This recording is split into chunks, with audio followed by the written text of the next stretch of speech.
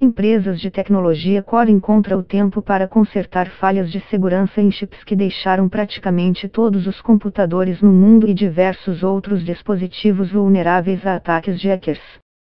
A indústria de tecnologia está ciente do problema há meses e esperava resolvê-lo antes que a questão se tornasse pública. Algumas correções foram introduzidas, sob a forma de atualizações de software, ou estarão disponíveis nos próximos dias segundo a Intel, que fornece chips para cerca de 80% dos desktops e 90% dos laptops em todo o mundo. Ainda não foram registrados ataques.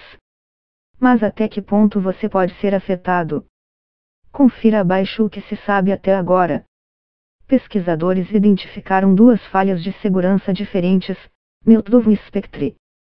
A Meltdown atinge laptops, computadores desktop e servidores de internet com chips Intel.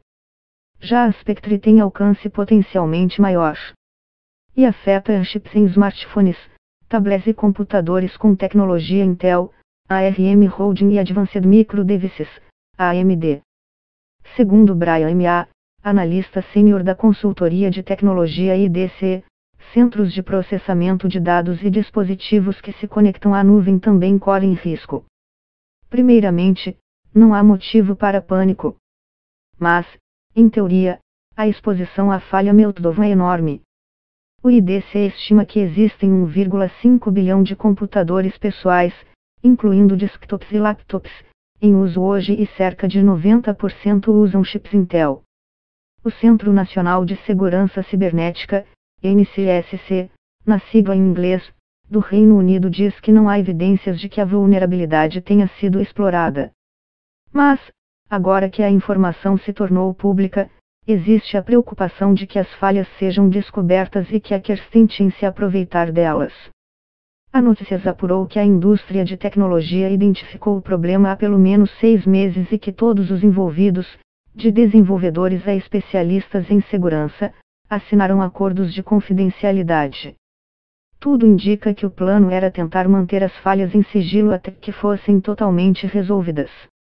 De acordo com Chris Fox, repórter de tecnologia da Notícias, quando pesquisadores descobrem uma falha de segurança, eles costumam compartilhar a informação com a empresa envolvida para que o problema seja resolvido. Normalmente, ambas as partes concordam em não divulgar a falha até que a correção tenha sido implementada, de maneira que os hackers não consigam se aproveitar das brechas. Desta vez, parece que alguém se antecipou e a informação vazou antes que a correção do software estivesse pronta para distribuição.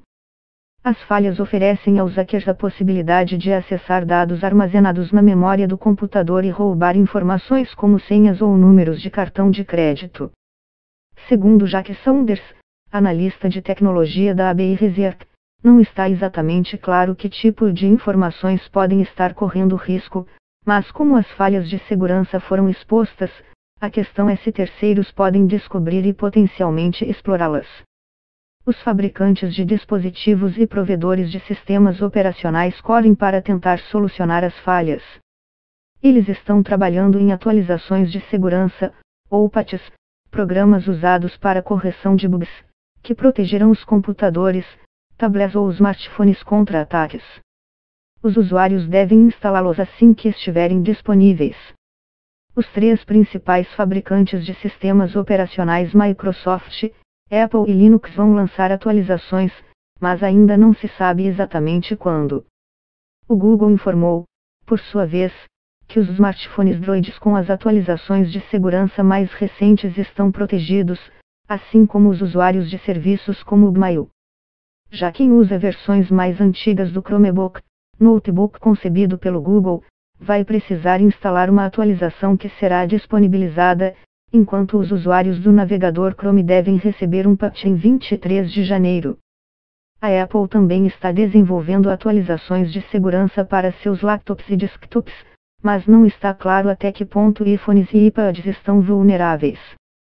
Os serviços de armazenamento em nuvem para empresas como Amazon Web Services e Google Cloud Platform afirmaram que já corrigiram a maioria das falhas e consertarão o restante em breve. Alguns pesquisadores dizem que qualquer reparo poderia deixar os sistemas 30% mais lentos, mas a Intel acredita que essas previsões são exageradas. A empresa afirma que o desempenho dos dispositivos depende da carga de trabalho e, portanto, o impacto para os usuários de computador em geral não deve ser significativo. Brian M.A., da consultoria IDC, concorda que para a maioria dos usuários comuns que usam o computador basicamente para navegar na web e acessar e-mail, as atualizações de segurança provavelmente não vão deixar os dispositivos mais lentos. A divulgação da vulnerabilidade dos eletrônicos acontece em um momento singular para a indústria. Na semana que vem, começa em Las Vegas, nos Estados Unidos, a Consumer Electronic Show, CES, a maior feira de tecnologia do mundo. Muitos participantes vão se perguntar como os novos produtos em exibição nos estandes serão afetados e os materiais de divulgação que detalham os aumentos de velocidade provavelmente terão que ser revisados. Os especialistas também acreditam que, como o Meltdown e o Spectre revelam falhas fundamentais na forma como os chips de computador são projetados, será necessário repensar seriamente como essa tecnologia será desenvolvida no futuro. Vamos precisar redesenhar sistemas operacionais e a forma como a CPUS, Unidade Central de Processamento, são feitas, escreveu Rob Graham, pesquisador de segurança em informática em seu blog.